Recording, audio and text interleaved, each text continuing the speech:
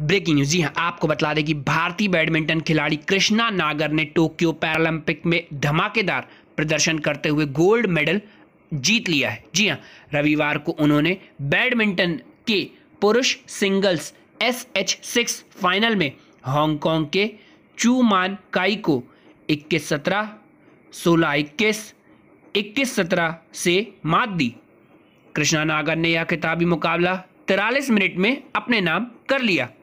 इसके साथ ही कृष्णा नागर पैरालंपिक के बैडमिंटन इवेंट में प्रमोद भगत के बाद गोल्ड जीतने वाले दूसरे भारतीय शटलर बन गए हैं। जी हाँ ब्रेकिंग न्यूज़, आपको बतला दें कि इसी जीत के साथ ही कृष्णा नागर ने चू मान काई के खिलाफ अपना रिकॉर्ड तीन एक कर लिया है।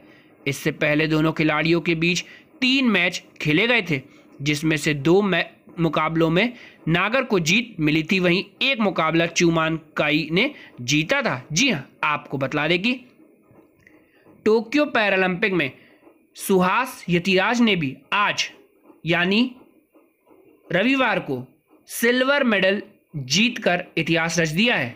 S L four class final में सुहास यतिराज ने फ्रांस के लोकास माजूर से हारकर गोल्ड मेडल से चूक गए। माजूर ने सुहास को पंद्रह इक्कीस इक्कीस सत्रह, इक्कीस पंद्रह से हराया। टोक्यो पैरालंपिक में बैडमिंटन में यह भारत का तीसरा पदक है। गौतम बुद्ध नगर, यानी नोएडा के 38 वर्षीय जिला अधिकारी डीएम सुहास पैरालंपिक खेलों में पदक जीतने वाले पहले आईएएस अधिकारी भी बन गए हैं।